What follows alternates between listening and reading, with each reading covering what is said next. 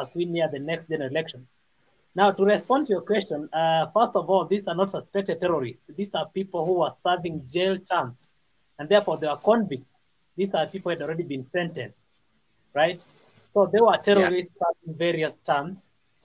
And uh, it's sad to say that the most guarded Kamiti that will have people breaking out of Kamiti, terrorists in the first place, these are serious offenders getting out. So it, could it be that we only know of the prison break because there were terrorists and, and uh, probably this what has been happening? How many more people have been able to get out of that, that place?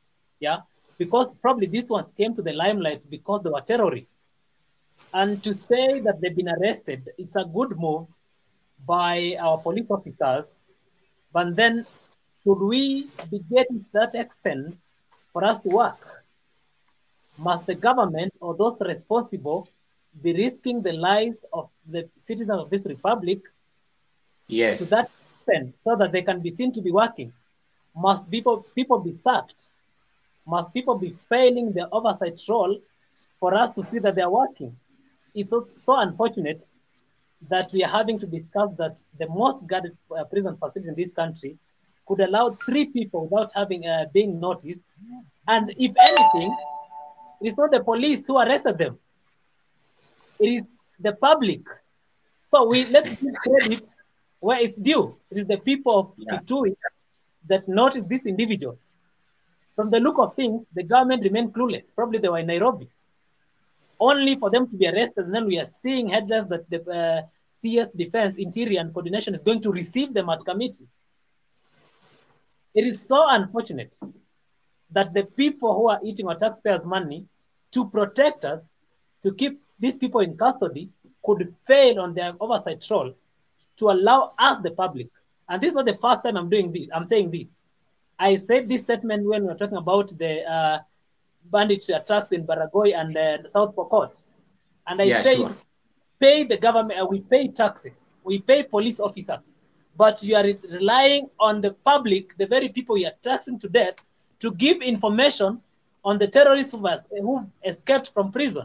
It's so unfortunate. And it was a failure from the side of government. We don't we not only need to fire the head of uh, Kamiti prison, we need to fire from the intelligence, NIS, to interior and coordination PS, to PS Kibicho, before we can come to the person at because the vile waswahili anasema samaki huoza kuanzia kichwani.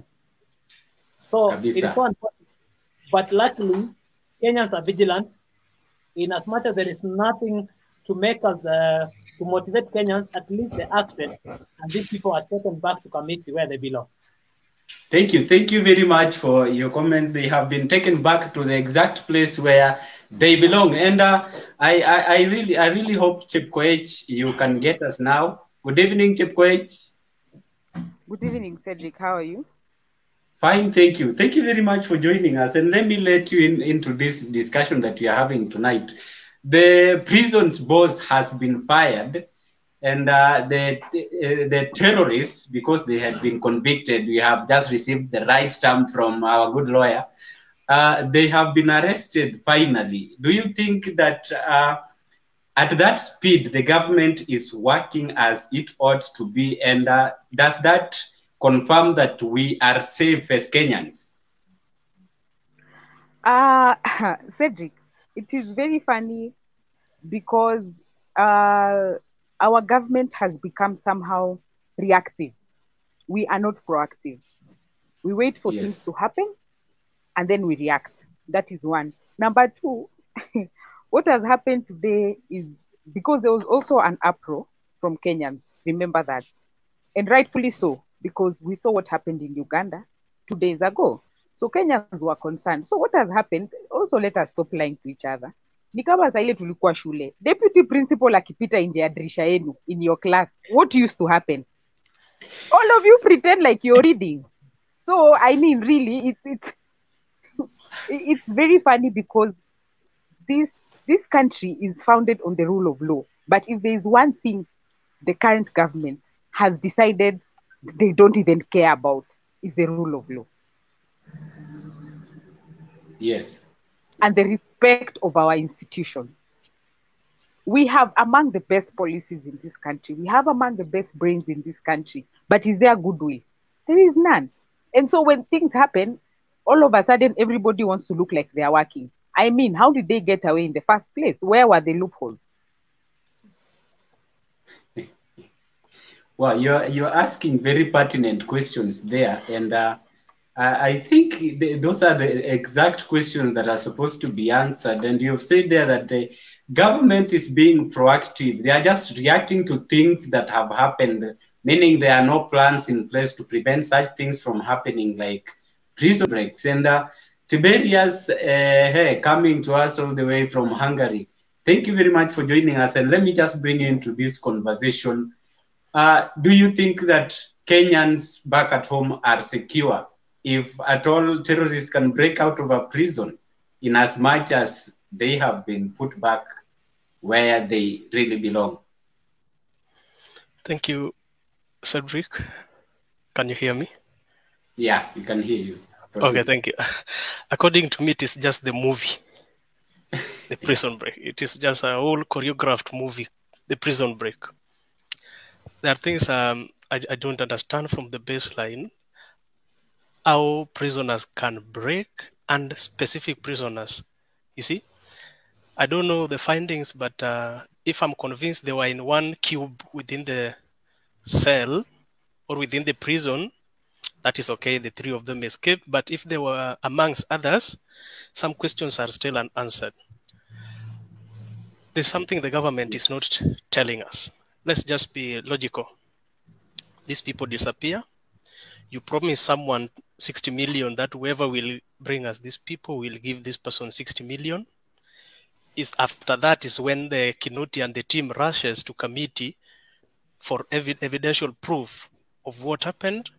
The next day, you sack Ogalo, the boss of uh, uh, the, the head of prisons, immediately is replaced, and then the next day they are found. Who is fooling who? There's the, I, I, I don't even know what to comment, but because uh, I'm the I'm, I'm the Kenyan, I, I know I am. I have no powers to question the government. The government is doing its thing. It is well choreographed, and uh, they have managed and they are winning. You see, they want to create an image. There's something coming beyond what we know, and they are creating a drama to confuse, to keep us busy. You see, they're just Yes. keeping us busy. There's something more than that. Literally, you you you you, see the walls of Kamiti. You can't just come and boom, you are down. People have tried. People have died. You see, and I'm telling you, you see the likes of uh, Commissioner Ogalo who was sacked. Tomorrow they are in another post. That one, no. So there's there's a, there's something being choreographed. We are reading the script, but we are not understanding the script. That is according to me. I've been trying to follow and under, try and understand this thing. It, it is not adding up, according to me. Literally, it's not adding up. It's not at all. Even if I was a lawyer like Nelson, if I go to the court, I'll lie more. So, you, according to you, this is a whole movie with a script which you is- cannot even it is- comprehend. it is a whole movie and then you find these people after uganda Yeah. is, is is bombed how there's some, something something has been timed to take place you see or some money Yeah. is being stolen somewhere the way we know kenya this is just to create attention and to do everything and everything at first it was one of them who disappeared you remember when the lawyer disappeared as well who Yeah. the lawyer plus the prisoner who was uh, released. After that, what happened? Others broke from the Kamiti prison and they disappeared. Now they are back. Is that uh, did the fellow who found or reported them to the DCI, or whatever, did, he was he given this